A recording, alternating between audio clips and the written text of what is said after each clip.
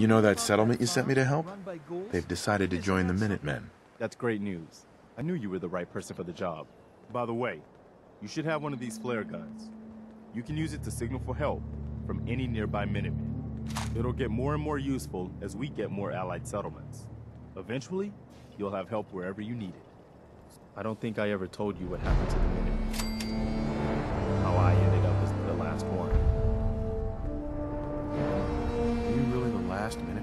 Maybe not literally. There must be a lot of former Minutemen out there who gave it up in disgust after the Quincy massacre. But we were the last active group of Minutemen.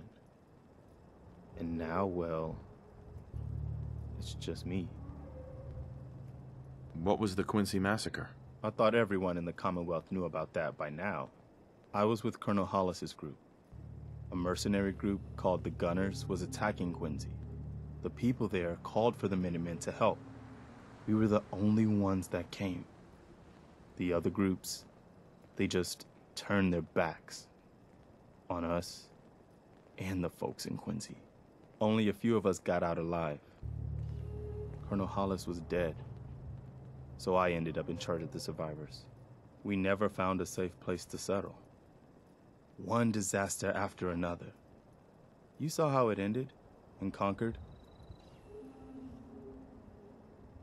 As long as you don't give up, the Minutemen will survive. I'm not about to give up, but I can't protect the Commonwealth all by myself. Hell, I could barely protect these people. That's why I'm talking to you.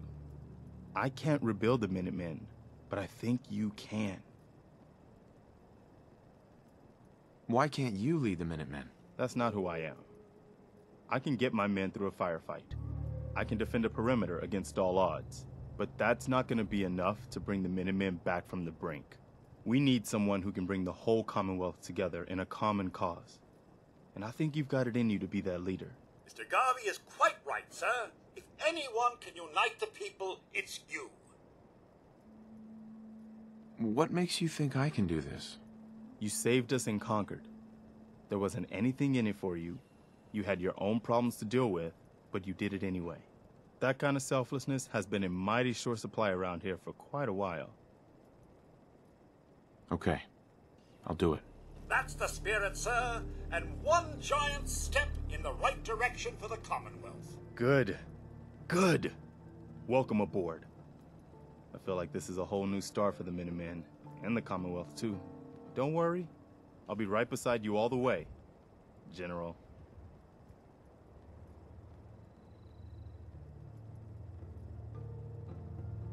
Why are you calling me General? The leader of the Minutemen has always held the rank of General. Our last leader was General Becker. After he died back in 82, nobody could agree on who should take his place. The one good thing about being the last Minuteman is, there's no one to argue with me when I say you're the new General. Now it's your job to make it more than an empty title. A settlement has asked for our help. Apparently someone's been kidnapped.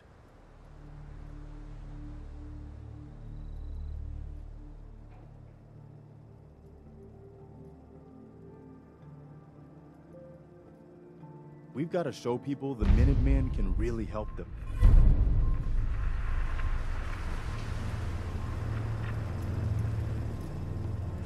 Hi. Is there something you need?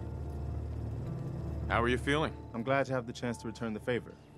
After all the help you gave me. Anything else?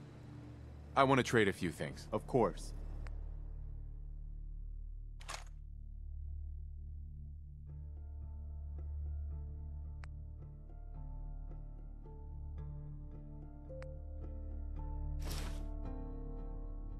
Just let me know if there's anything else you need. No, nothing. All right.